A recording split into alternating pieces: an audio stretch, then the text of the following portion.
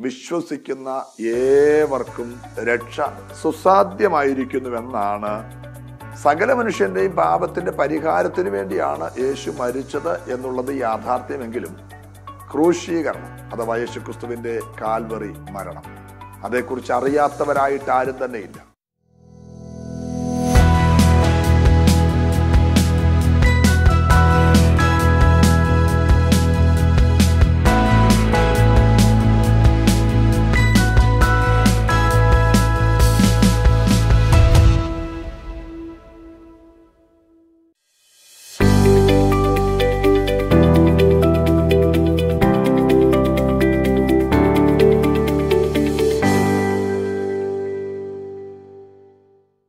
ദൈവത്തിന് മഹത്വം.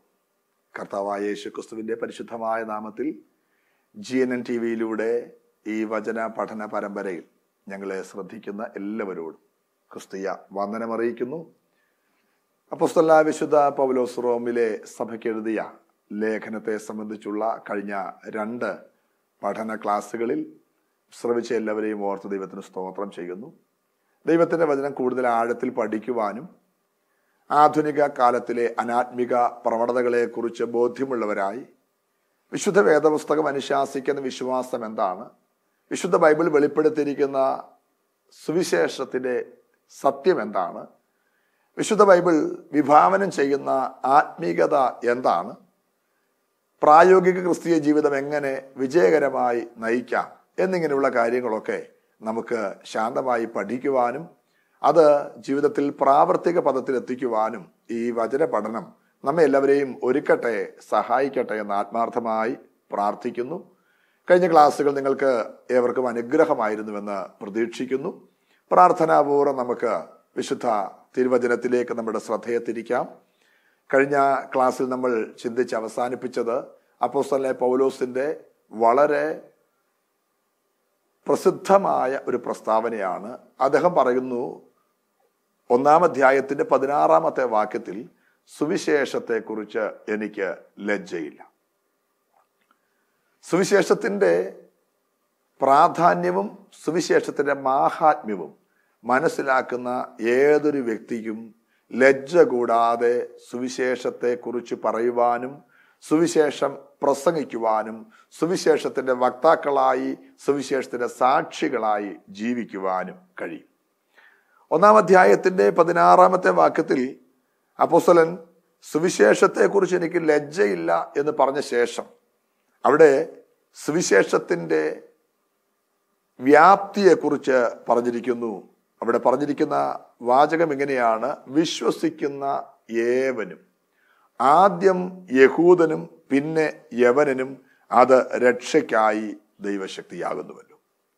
ആദ്യം യഹൂദന് എന്ന് പറയുന്ന പദപ്രയോഗം യഹൂദന്റെ മുൻഗണനയെ കാണിക്കുക മാത്രമല്ല കാലക്കണക്കനുസരിച്ചുള്ള ദൈവിക ഇടപാടിനെയും കാണിക്കുന്നു. അതായത് ദൈവം തന്റെ രക്ഷണ്യവേല യഹൂദനോടുള്ള ബന്ധത്തിലും യഹൂദന്റെ മധ്യത്തിലുമാണ് ആരംഭിച്ചത്. വിശുദ്ധ തിരുവിഴുത്തിന്റെ ചരിത്രം ഒരു ജനതയെ കേന്ദ്രീകരിച്ചുള്ള ചരിത്രമാണ് എന്ന് നമുക്കറിയാം. ആദിമ മാതാപിതാക്കളായ ആദം ഹൗവമാര് അതേ തുടർന്ന് പിന്നീട് വന്ന ആദിമ പിതാക്കന്മാരെയും അവരുടെ ചരിത്രത്തെയും കുറിച്ച് പ്രതിപാദിച്ചിരിക്കുന്ന വിശുദ്ധ ബൈബിളിന്റെ പ്രാരംഭ ഭാഗങ്ങളെ തുടർന്ന്. ബൈബിളിന്റെ പ്രഥമ പുസ്തകമായ ഉൽപ്പത്തി പുസ്തകത്തിൽ ആദ്യ പതിനൊന്ന് അധ്യായങ്ങൾ കഴിഞ്ഞ് പന്ത്രണ്ടാം അധ്യായത്തിലേക്ക് വരുമ്പോൾ അബ്രഹാം എന്ന ഭക്തനായ മനുഷ്യനെക്കുറിച്ച് നമുക്ക് വായിച്ചു തുടങ്ങാൻ പഠിച്ചു തുടങ്ങാൻ കഴിയും. അബ്രഹാമിന്റെ തെരഞ്ഞെടുപ്പ് മുതലുള്ള മുമ്പോട്ടുള്ള ചരിത്രം വേദപുസ്തകത്തിന്റെ ഗതിയെ തന്നെ മാറ്റുന്നതായി. ആരംഭ അധ്യായങ്ങൾ നമ്മൾ വായിച്ചതും പഠിച്ചതുമായ വസ്തുതകളിൽ നിന്ന് തികച്ചും വിഭിന്നമായി ഒരു വ്യക്തിയെയും പിന്നീട് ആ വ്യക്തിയുടെ തലമുറകളെയും ആ കുടുംബത്തെയും കേന്ദ്രീകരിച്ചുള്ള ചരിത്രം പറഞ്ഞുകൊണ്ടാണ് മുമ്പോട്ട് പോകുന്നത് എന്ന് നമുക്കറിയാം. യഹൂദന്മാർക്ക് വേണ്ടി ദൈവം ഒരുക്കിയ രക്ഷാകരമായ വിവിധ പദ്ധതികളെ കുറിച്ച് നമുക്ക് തിരുവചനത്തിന്റെ ആരംഭ ഭാഗങ്ങളിൽ കാണാൻ കഴിയുന്നുണ്ട്.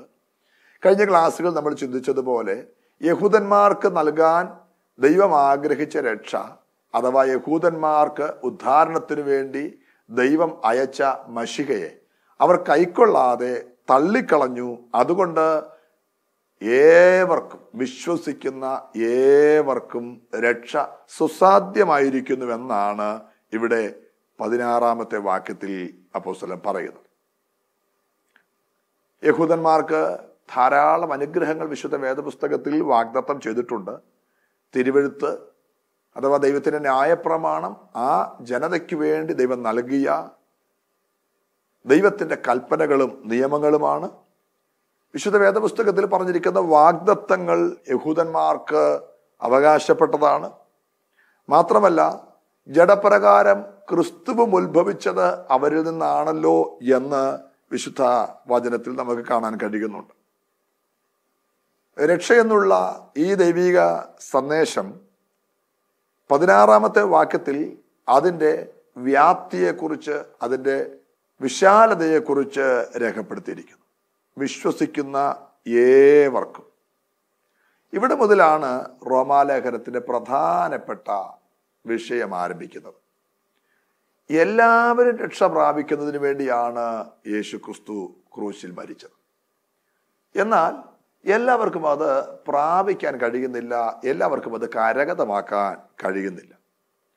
യേശുക്രിസ്തുവിന്റെ ക്രൂശ് മരണം എല്ലാവർക്കും വേണ്ടി ഉള്ളതാണെങ്കിലും സകല മനുഷ്യന്റെയും പാപത്തിന്റെ പരിഹാരത്തിന് വേണ്ടിയാണ് യേശു മരിച്ചത് എന്നുള്ളത് യാഥാർത്ഥ്യമെങ്കിലും എല്ലാവർക്കും അത് പ്രാപിക്കാനായി സാധിക്കുന്നില്ല.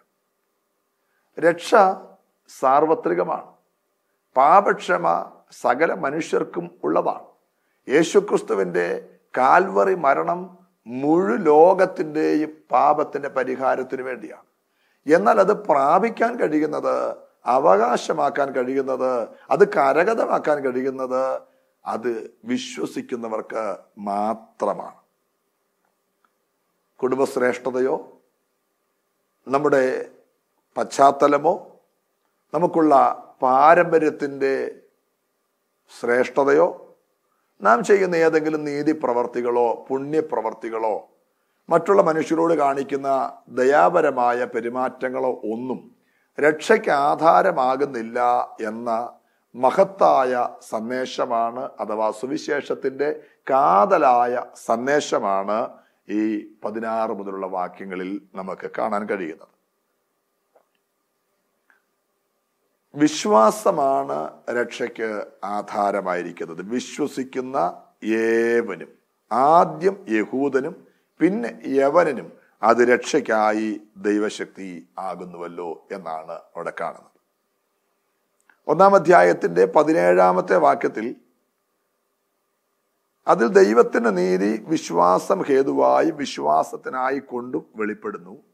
നീതിമാൻ വിശ്വാസത്താൽ ജീവിക്കും എന്ന് എഴുതിയിരിക്കുന്നുവല്ലോ എന്ന്. ഉദ്ധരിച്ചിരിക്കുന്നത് ഒരു പഴയ നിയമ ഉദ്ധരണിയാണ്. നാല് തരത്തിലുള്ള വിശ്വാസങ്ങളെ കുറിച്ച് നമുക്ക് ഇവിടെ നിന്ന് മനസ്സിലാക്കാൻ കഴിയുന്നുണ്ട്.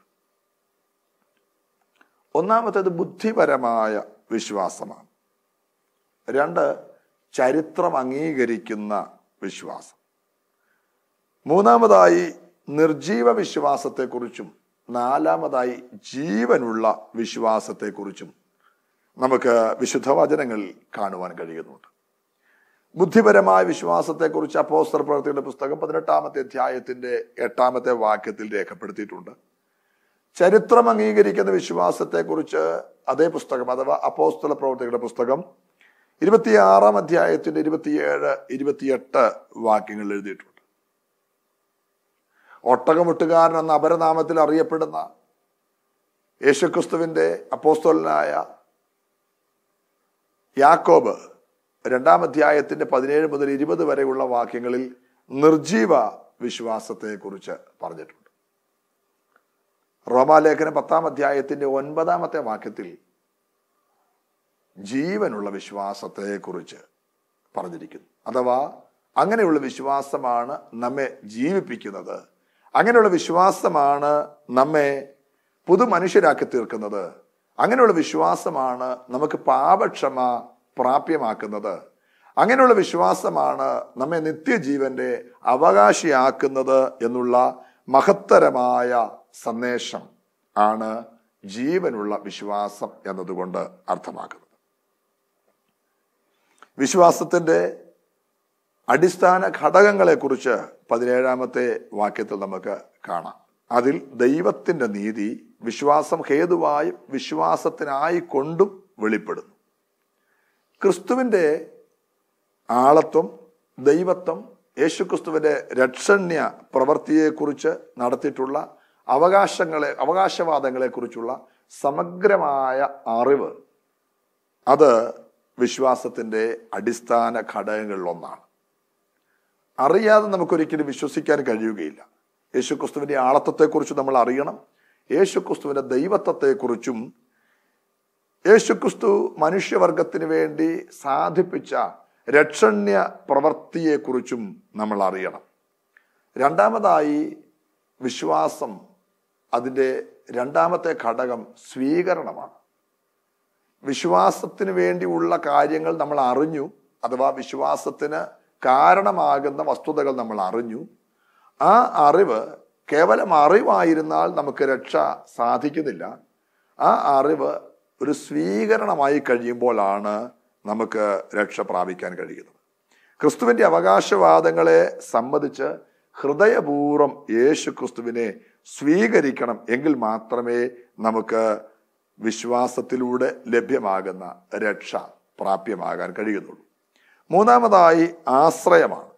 യേശുക്രിസ്തുവിന്റെ അവകാശവാദങ്ങളെ അംഗീകരിച്ച് ക്രിസ്തുവിന്റെ ആളത്വത്തിന് സമ്പൂർണമായി കീഴ്പ്പെട്ട് യേശുക്രിസ്തുവിൽ ആശ്രയിക്കുന്ന ഏതൊരു വ്യക്തിയെയും യേശുക്രിസ്തു രക്ഷിക്കുന്നു ആ ഒരു ആശ്രയത്തിലേക്ക് ആ രക്ഷിക്കുന്ന വിശ്വാസത്തിലേക്ക് അഥവാ നമ്മുടെ ഉള്ളിന്റെ ഉള്ളിൽ ഹൃദയത്തിന്റെ അന്തർഭാഗത്തു നിന്നുള്ള വിശ്വാസത്തിലേക്ക് നാം എത്തുമ്പോഴാണ് യേശുക്രിസ്തുവിന്റെ പാപപരിഹാര ബലി അഥവാ യേശുക്രിസ്തുവിന്റെ പ്രായച്ചിത്ത മരണം.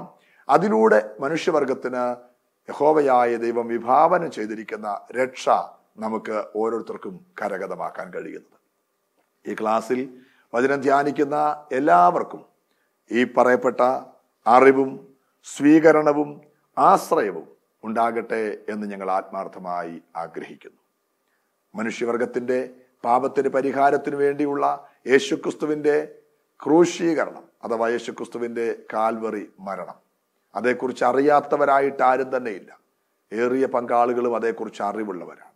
എന്നാൽ ആ അറിവ് മാത്രം കൊണ്ട് നമുക്ക് രക്ഷ സാധ്യമാകുന്നില്ല. നാം അത് ഹൃദയത്തിൽ സ്വീകരിക്കുകയും ദൈവത്തിൽ ആശ്രയിക്കുകയും ചെയ്യുമ്പോഴാണ് നമുക്ക് ആ പാപ പരിഹാരം പ്രാപിക്കാൻ കഴിയുന്നത്. ഈ ക്ലാസ്സിൽ ദൈവത്തിന്റെ വചനം കേട്ട എല്ലാവർക്കും അത് സാധ്യമാകട്ടെ എന്ന് ആത്മാർത്ഥമായി പ്രാർത്ഥിച്ചുകൊണ്ട് ഇന്നത്തെ വചന ചിന്തകൾക്ക് ഇവിടെ വിരാമമിടുകയാണ്. ദൈവം നമ്മെ എല്ലാവരെയും അനുഗ്രഹിക്കട്ടെ.